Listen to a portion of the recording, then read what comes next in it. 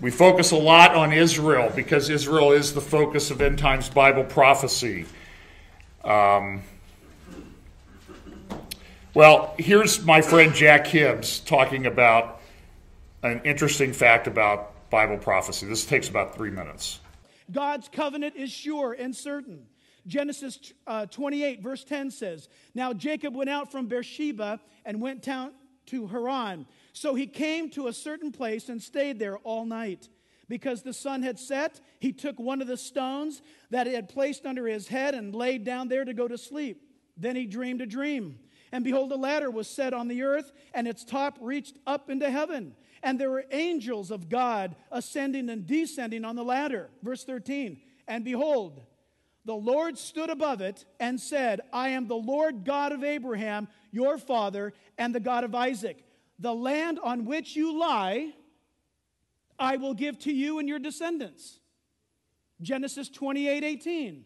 Then Jacob arose in the morning, listen, took the stone that he had put underneath his head, set it up as a pillar, poured oil on top of it, and Jacob called the name of the place Bethel, but the name of that city was previously called Luz. I want you to look at the little photo thing we're going to show you on the screens. This, don't go to the next slide. Church, listen to this. This was actually uh, something that I got from Israel. I, it was a God ordained moment because I was cruising around a store and um, I'm looking at this satellite map because I, I thought it was awesome. And um, the little lady at the store, little Jewish lady, she said, um, Listen, why don't you look at Bethel? See Bethel? Why don't you turn the map sideways? And why don't you read it? And she showed me what this says. Now, look at this. You, just to give you a, a reference, here's the Dead Sea, Jordan River. So now north is over here as it's indicated. When you rotate it to the left, you see that right there in the mountains of Israel? This has not been doctored up. This is a a geosat photograph from a United States government satellite picture of Israel. You see that right here? Next slide. See this here? That's Bethel, by the way, ladies and gentlemen. Next slide. See that? You say, well, what's your point? Well, we were in Israel again last month. I saw the same map. In fact, we were down at the Dead Sea at the Masada National Park.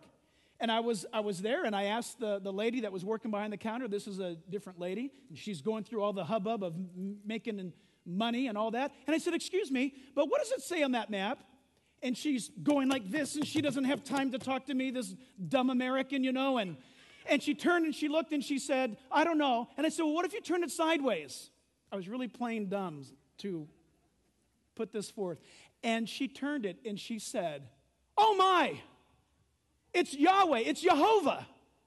She, I didn't tell her what it said. She's a Hebrew. She said it. And she said to her coworkers in English, I have goosebumps.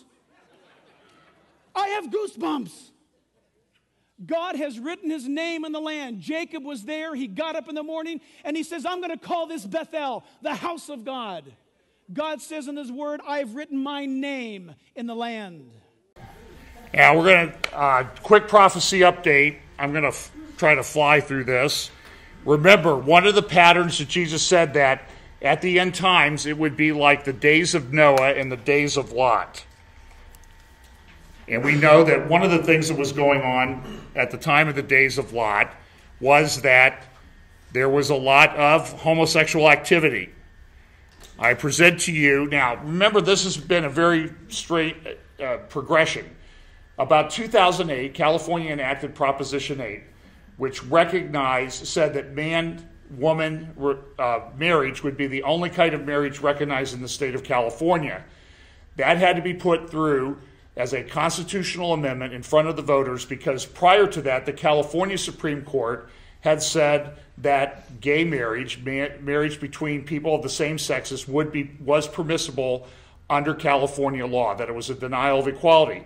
So the citizens of California, by a majority vote, 53 to 47 percent, said we want marriage to be man woman. Subsequent to that, there was a court case. Ted Olson and um, uh, the other guy that was on the other side of the, of the Bush uh, Gore uh, controversy in 2000, David Boies.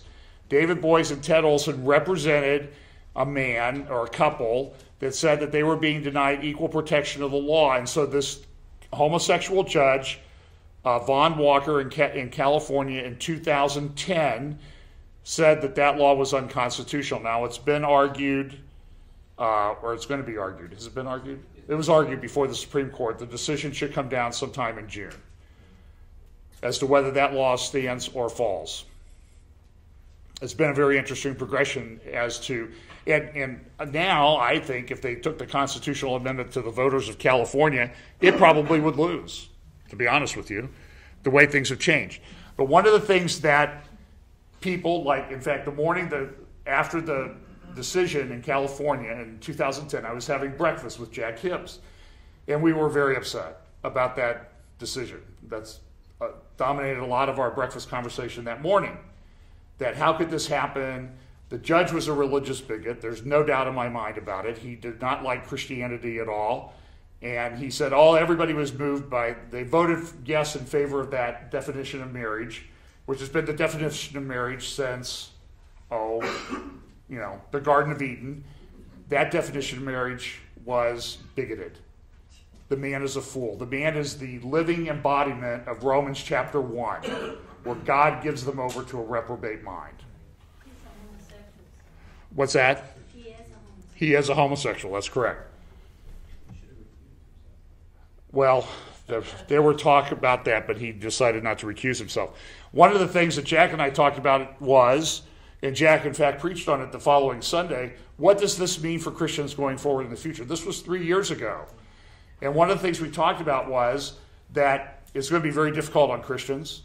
It's going to lead to persecution of Christians.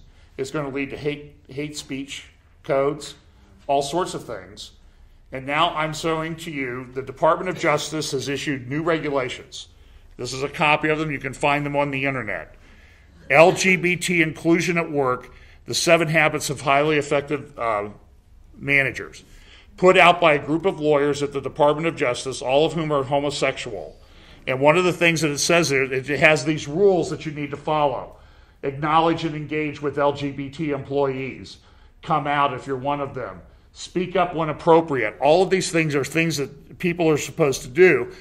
But I've mentioned a couple times there's a pastor, uh, he's a tent maker pastor. He has full time job, works at a large bank in this community, you probably, well, JP Morgan. And one of his concerns is that eventually he'll be asked to sign a document that says you not only have to support, not speak against gay marriage, you have to speak out in favor of it. Now, a lot of people say, oh, that's John, this is America. I mean, we have free speech, but they can't make you speak. In the regulations down here, it says Know how to respond if an employee comes out to you. Okay? You see that right down there? And here's what it says Don't judge or remain silent. Silence will be interpreted as disapproval. We now have in our government regulations coming into effect that you will have to speak in favor of homosexual marriage. If you don't, you're fired. It's going to happen. And the church needs to tell all of its people that these things are coming and you need to know how to respond and stand firm on the Bible, on the Word of God when those up, when those things come to you because they are I am confident coming to all of us. Now, this is a time lapse. No, it's not showing up, is it? This is a time lapse of the uh, tornado in Moore, Oklahoma the other day. It's a fascinating, I mean, the devastation that this thing caused was just uh, enormous. I'm sure you've all seen uh, the pictures. An F5 tornado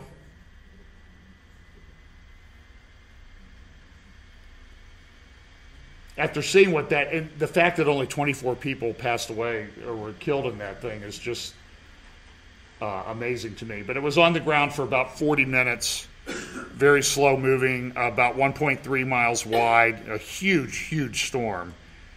Um, this is some of the pictures of a neighborhood and more. Another picture of a neighborhood. You can see how it went through there. Just devastation. Now, there are some reports. I've been able to confirm them that there was a large gay pride uh, rally in Oklahoma City uh, just a couple days before this happened. Uh, you can read about that on John McTernan's blog, John, McTernan, John McTernan's Insights. And it, it, just type in John McTernan, M C T E R N A N apostrophe S, John McTernan's Insights, and he'll raise that up. Chuck, did you have something to say? Um, in about a month or maybe three weeks, there's a gay pride parade in downtown Columbus. Correct. Yeah, there is. Yeah. Uh, yeah, over July 4th. I think I think that's right. Okay, now England. Won't talk too much about this, but there's been news. They've gone back and looked at their most recent census in England. And what they found is that Christians could be a minority in 10 years in England. Now, that's a minority compared to any other religious group. The majority of people are non religious in England. Um, a new analysis shows that a decade of mass immigration helped mask the scale of decline in Christian affiliation among the British born population while driving a dramatic increase in Islam. This is England now, particularly among the young. It is, suggests that only a minority of people will describe themselves as Christians within the next decade for the first time. Meanwhile, almost one in 10 under 25s in Britain is now a Muslim, and that's probably understated. Fraser Watts, a Cambridge theologian, said it was entirely possible that people identifying themselves as Christian could become a minority within the next decade on the basis of the figures. It is still pretty striking and it is a worrying trend and confirms what anyone can observe that in many churches the majority of the congregation are over 60, he said. Keith Porteous Wood, the executive director of the National Secular Society, said the long term reduction of Christianity, particularly among young people, was now unstoppable. In another 20 years, there are going to be more active Muslims than there are churchgoers, he said. The number has dropped below critical mass for which there is no longer any justification for the established church. This is the secular guy speaking. For example, or ceremonies like the monarch going through, for example, or ceremonies like the monarch going through a religious ceremony at coronation. England has become secular. Much of the European continent is secular. You may not have heard, but over the last week, there have been nightly, daily riots in and around Stockholm, Sweden. How many of you have not heard about that? Okay, so about half of you have not heard about that. They're burning vehicles like crazy. This is a picture from the other night in Stockholm. A very stronghold, a very uh, a growing stronghold of Islam in Europe.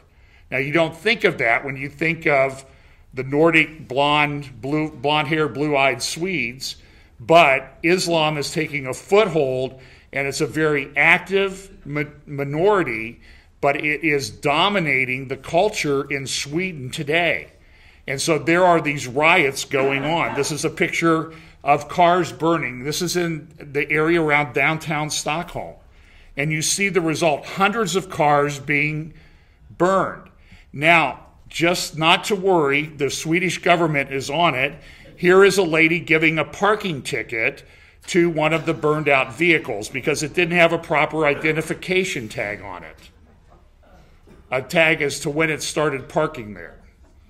And she was asked about it and she said, whatever.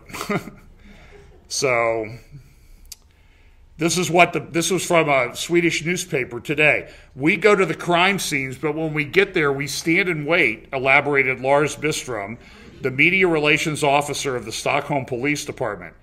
If we see a burning car, we let it burn if there is no risk of fire to other cars or buildings nearby.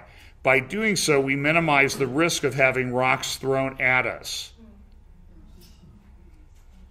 This is political correctness and tolerance run amok.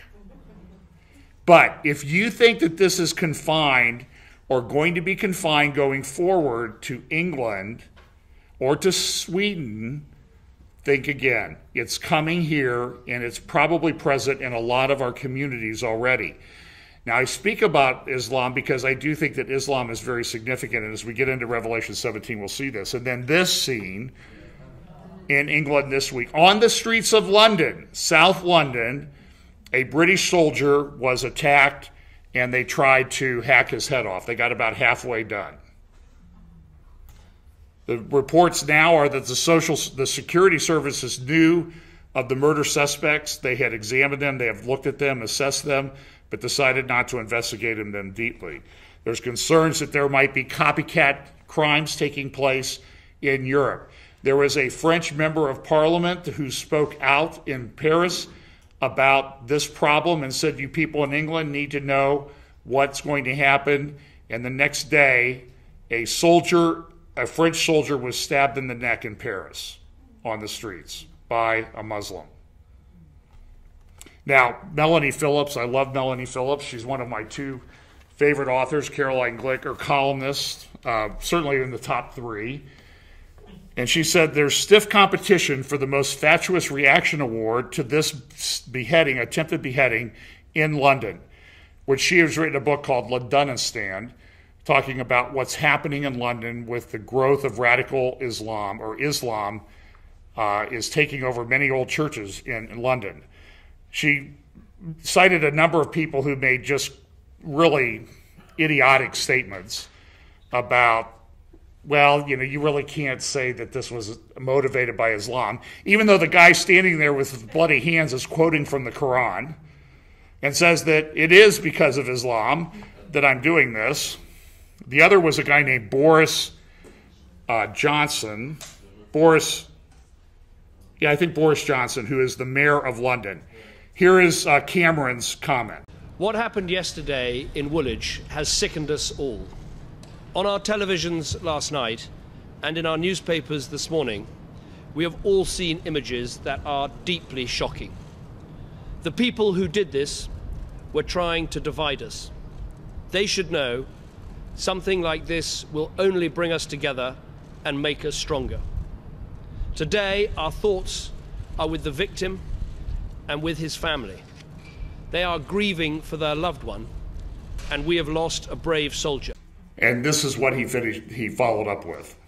This was not just an attack on Britain and on the British way of life.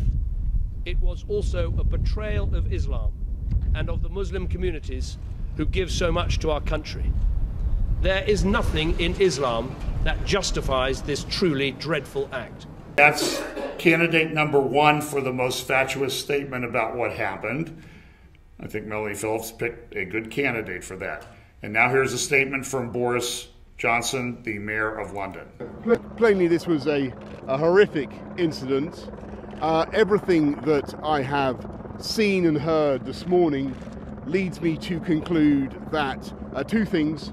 Number one, that the those guilty will be brought speedily to justice, and second, I have absolutely no doubt that Londoners uh, can go about their lives in the normal way today.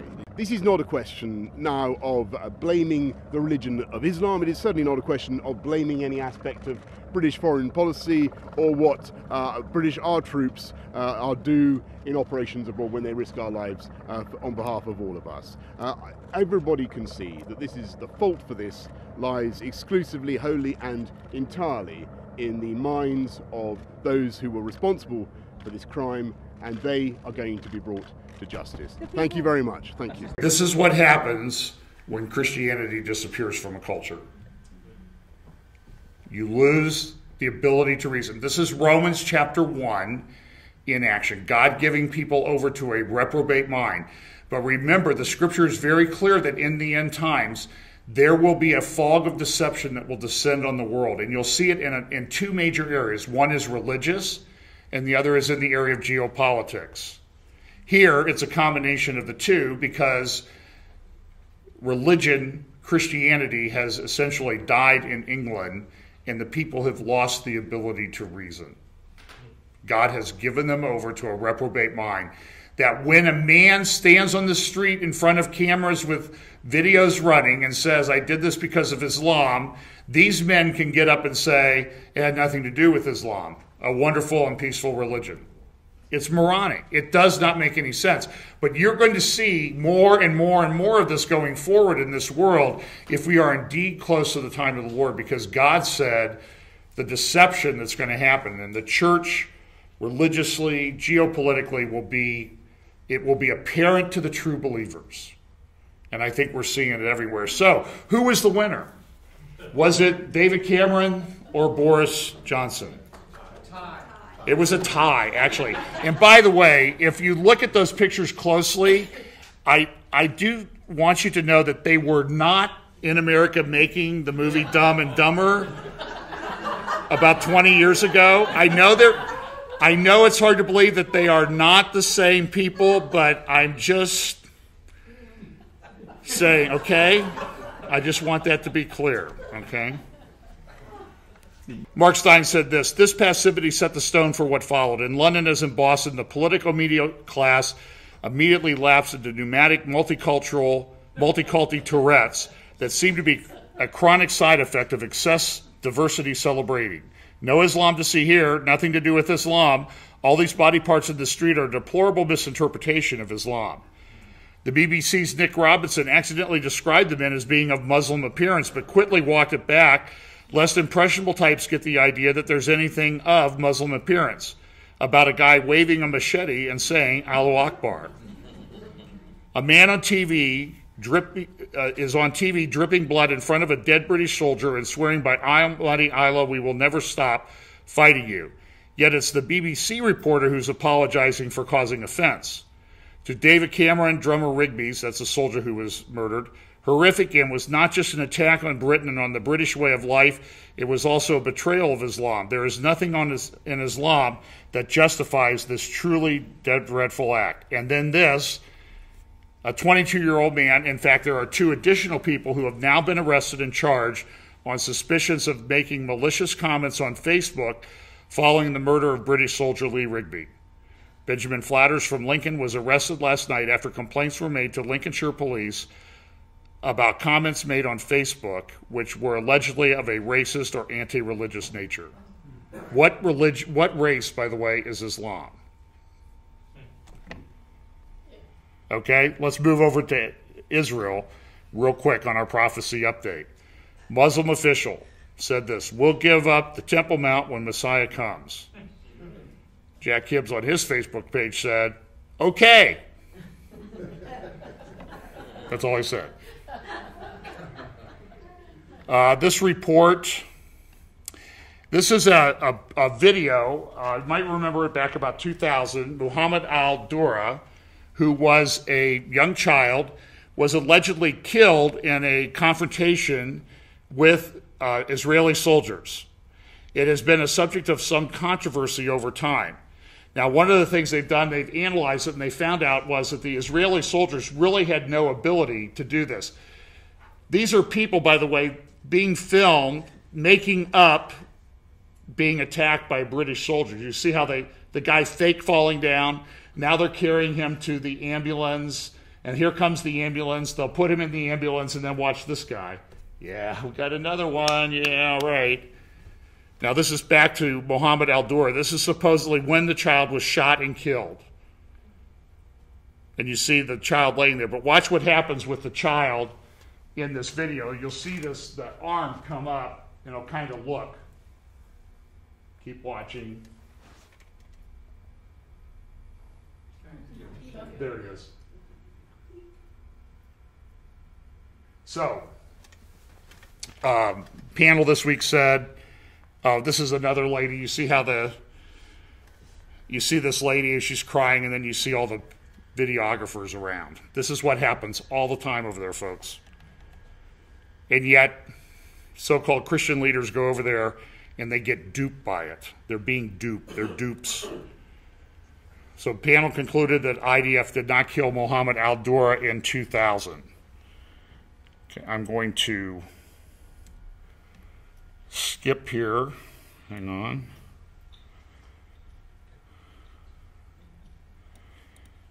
Okay.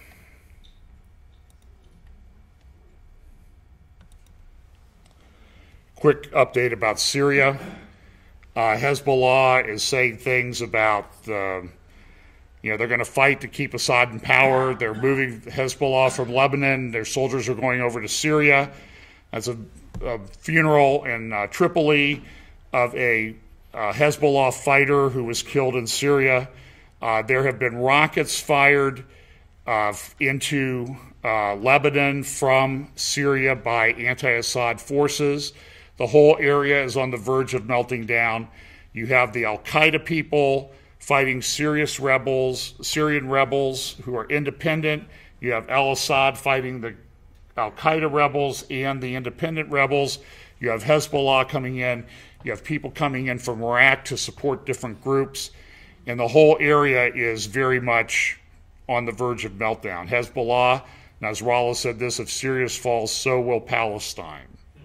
Very serious situation. Israeli government is sort of wringing its hands because it doesn't know who to support or who to fight or what to do. Now, Isaiah 17 talks about Damascus ceasing to be a city at some point in the future. That's never happened. I don't know if one of the solutions that the Israeli government will say is, well, let's at least get rid of Damascus and try to get control of the rest of the situation. Damascus may be on the verge of ceasing to be a city. It's the longest continuously existing city on planet Earth today, by all estimates. Been around longer than any.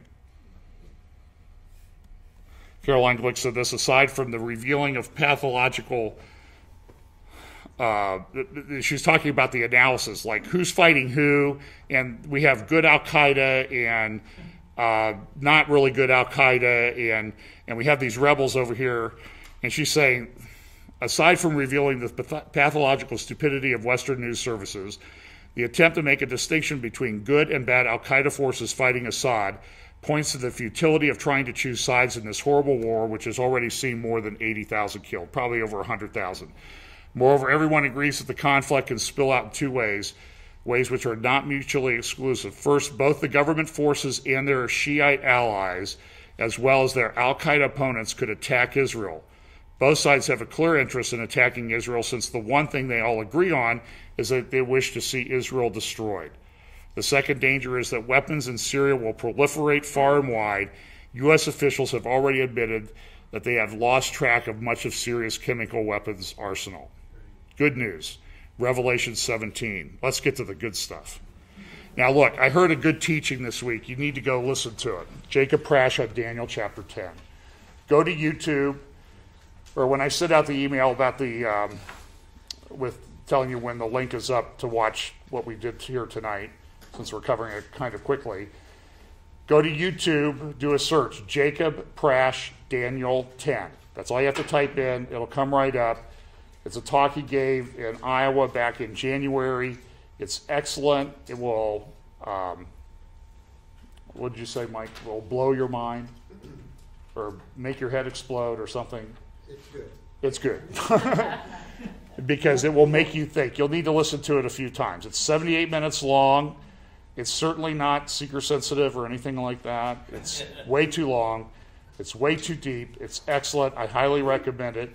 And I will say up front, I don't agree with everything that Jacob said in there, but he's a lot smarter than I am, so maybe I just haven't risen up to the right level. But it's excellent, it's on. And one of the points he makes out is that the prophecy in Daniel chapter 10, which related to Persia in part, was a horrific prophecy. And that prophecy has never, ever been fulfilled. Persia is modern day Iran. Who is dominating the news in the Middle East outside of Israel? Iran. Iran changed in 1979. Before that, it was fairly pro Israel in its orientation. It became the Islamic Republic of Iran in 1979, and it has been violently anti Israel ever since. The little Satan Israel, the big Satan United States. It's all coming to a head. And imagine what happens if those people get nuclear weapons of some kind. What will happen to the world if one nuclear weapon goes off? Now, what happened in Daniel chapter 10 was Daniel was given a vision as to what would happen with Persia in the future. And I agree with Jacob, it's never been fulfilled. But look at what, Dan, what look at the prophecy was so horrific. Look at how Daniel reacted.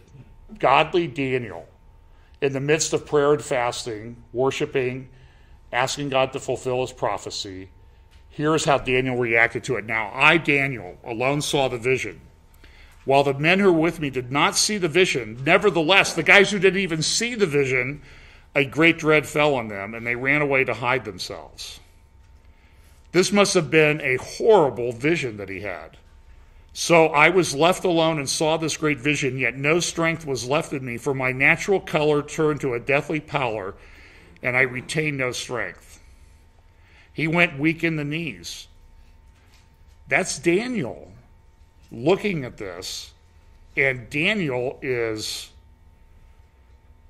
blown away, to say the least.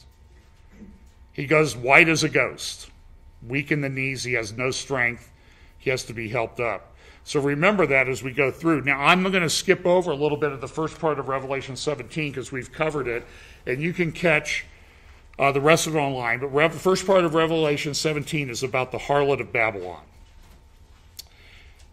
Uh, John was carried away by the Spirit into a wilderness, and I saw a woman sitting on a scarlet beast full of blasphemous names, having seven heads and ten horns. A woman clothed in purple and scarlet, and adorned with gold and precious stones and pearls, having in her hand a cup, gold cup full of abominations and of the unclean things of her immorality. And on her forehead was a name written Mystery, Babylon the Great. Now, last week we talked about the concept of a harlot, the harlot mixing seed of many men in her, and how she's totally impure and that what the Jewish law required that a daughter of a priest who became a harlot was to be burned with fire. The same fate that's going to face the harlot in Revelation, which I think, the more I study it, I think is the apostate church. Also, we talked about the fact that there is an admonition in Leviticus 19:19 that the Jews were not to plant two kinds of seed in the same field. And so the concept of mixing seeds is something that you see throughout the Old Testament. Don't mix things together. In fact, in Jesus talking about the first parable says that the sower sows the word. The word the seed is the word of God. And so there's this concept that we should not mix seeds. We should not mix things with the word of God. And we've talked about Laodicea, which talks about mixing hot and cold and that being very distasteful to the Lord. And that what the apostate church will do is it will mix things together, mix things with the Word of God, like the Quran that we've talked about, that Steve mentioned a little bit ago. And these things are an abomination to the Lord the mixing of impure things with the pure Word of God. So the woman is drunk with the blood of saints and with the blood of witness blood of the witnesses of Jesus. When I saw her, I wondered greatly. And the angel said to me, Why do you wonder? I will tell you the mystery of the woman of the beast that carries her, which has the seven heads and the ten horns. Seven heads, ten horns. Remember that as we read through these next few uh, verses. The beast that you saw was and is not, and is about to come out of the abyss and go to destruction. Okay, so when John's writing this, at the time he's writing this, there is a a we'll call it a beast empire. We'll call them beast empires. There is a beast empire in effect, okay? But the one that's going to come at the end is a beast empire that was and is not. So it's not in existence at the time that John is writing this beast empire. It was in the past, it'll be revived in the future, but when John's writing, that beast empire is not in existence. Now, what does that tell you? What empire was in existence when John wrote Revelation 17? Rome. John wrote about 96 AD, is when most people, most good scholars think that uh, Revelation was written. Under the reign of Diocletian, who was a great persecutor of Christians. There are some preterists, people who believe that Bible prophecy has pretty much all been fulfilled. We're just waiting for the return of the Lord, and there's nothing else that needs to happen. That's one form of preterism. And they believe the, the only way they can get that, though, is if Revelation was written about 65 AD before the temple in Jerusalem was destroyed. So the beast was not and is about to come out of the abyss and go to destruction. And those who dwell on the earth, whose name was not found, has not been written in the book of life from the foundation of the world, will wonder when they see the beast that he was and is not and will come. The beast which was, it is not. So the beast that used to be, it's not now, so it's not Rome, is himself also an eighth and is one of the seven. I'll explain that in a minute. I've got some maps, and this is going to carry over into next week, obviously. The ten horns which you saw are ten kings who have not yet received a kingdom, but they receive authority as kings with the beast, the final beast empire, for one hour. These have one purpose, and they give their power and authority to the beast.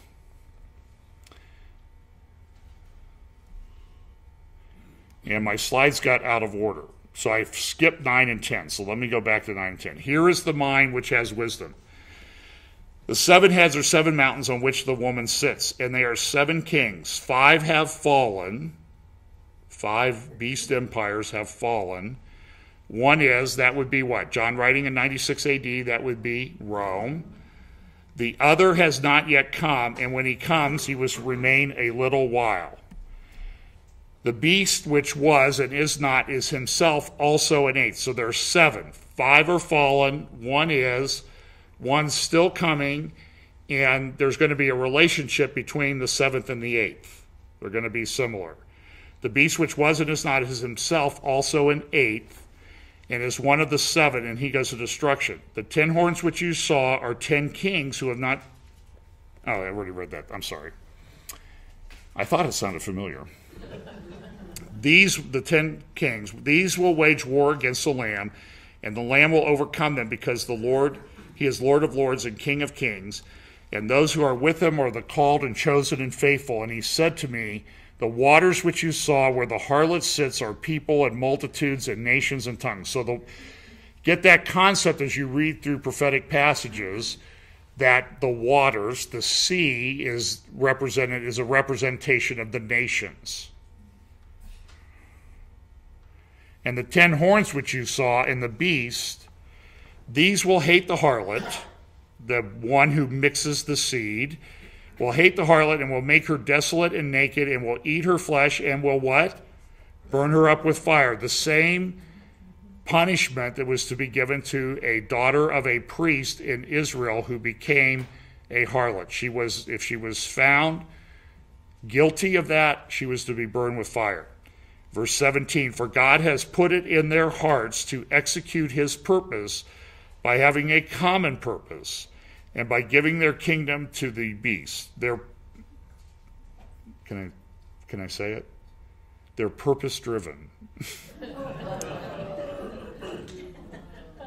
I'm only quoting the scripture, folks.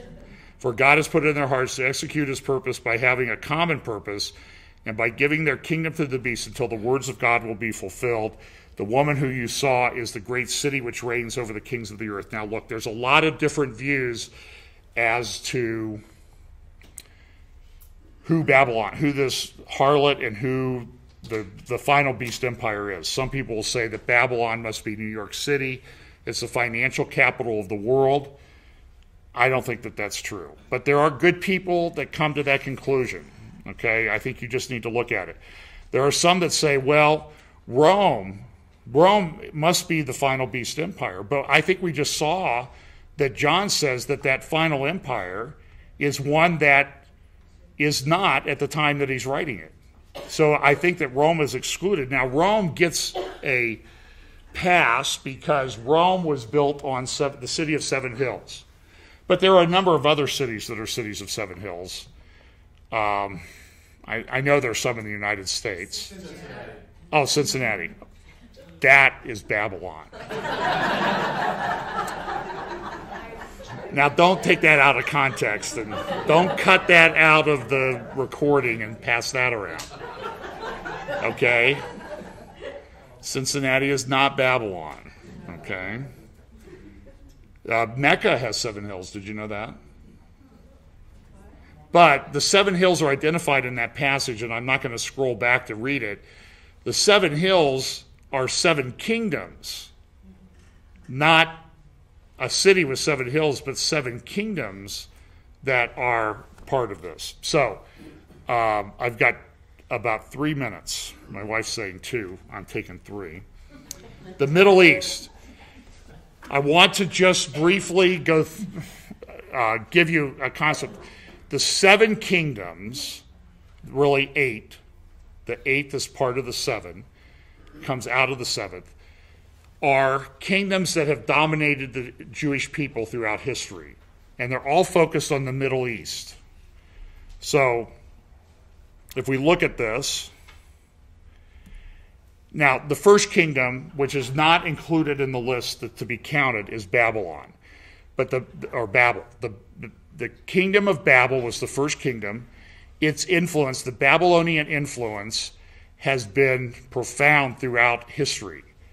You can go to Rome, and if you know anything about the Babylonian system and the false teachings and the sun wheel and the fertility goddess Isis and the sun Tammuz and all this stuff, all of this is, is all through Rome.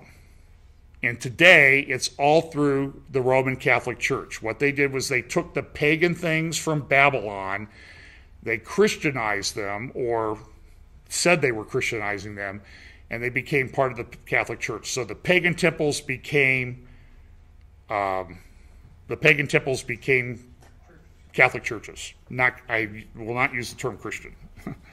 so-called Christian churches. The time of Abram. Abram lived about 2100 BC. He went from Ur, that city there, he went all the way Well, you over. need to read all those passages, through, that's a because they relate heavily to Revelation chapter that you can 17. go. You can't walk through we will cover that today. next week. That Abraham may have walked through back in those days. It's the oldest gate found in antiquity. But the first kingdom that dominated the Jewish people, and I'll be very quick with this, was Egypt. And you can see how the Egyptian empire went up the Nile and up through the land of, then the land of Canaan. Now, this is what the kingdoms of the world looked like at about 1400, 1440 BC, at the time of the Exodus. So, Egypt was the first of the seven, we'll call them seven, eight kingdoms. A little closer view of it. The second kingdom was Assyria. And that kingdom uh, was in the Fertile Crescent, the area of Babylon, headquartered in Nineveh. You can read about it in Jonah and some of the other prophets. And this is a representation of what the world looked like, the kingdoms of the Middle East looked like at about 720 BC when Nineveh came in and took over the northern kingdom, the kingdom of Israel. Because you can see, if you could see closely, where Jerusalem is and to the south is a little blue thing, and that says Judah.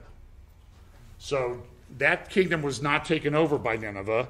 The kingdom of Judah continued to exist for another 135 years or so. So Assyria was that kingdom. There you can see Judah a little bit better, just south of Jerusalem. Thank you.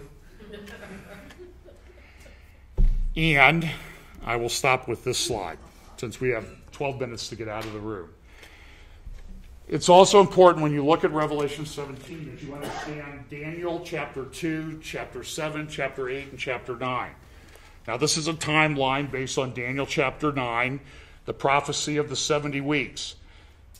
Daniel describes five kingdoms. So we have two, okay? We have Egypt and Assyria, and those were in mind when John wrote about the seven. So Daniel only talks about five, but two and five is seven. So there's a correlation between the kingdoms of Daniel and the kingdoms, the empires that John also wrote about. And John writes about the kingdoms in Daniel chapter 2. He describes a great statue. We'll talk about that next week. Head of gold, arms and chest of silver, thighs of bronze, legs of iron, and then feet of iron mixed with clay with ten toes. The ten toes is emphasized.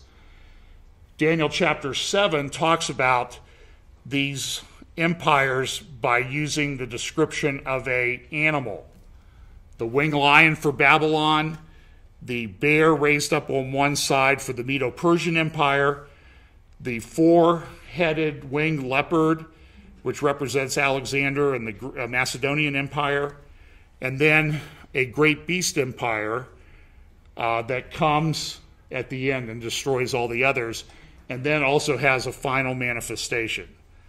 That would be so. If we're taking it from Revelation, which has eight kingdoms, it would be that would be kingdom three, four, five, six, seven. Well, yes. now Daniel chapter eight, though, changes the animal for Medo Persia to a ram with two horns, and the Macedonian Empire to a goat with a single horn. So next week we'll start, we'll go through Daniel 2, 7, 8, 9 real quickly. We'll show how it relates specifically to the kingdoms and the empires. I have a beautiful chart that I think will help you understand how everything is done. And then we will be able to identify the identity of the final beast empire. Most prophecy teachers teach you that this is Rome. I do not agree with that. Now, were those people wrong? Are they heretics? Are they. No. They're all good people. They're trying to figure out what the scripture says. And when you look at the way the scripture has been, in the light of the way that the world was for a long time, Rome made a lot of sense. But there's another problem that's come up in the world, and I think that that is where the beast empire will be manifested. So it's all very much tied together. You need to read these passages Daniel 2, 7, 8, 9, 10, and 11, and 12.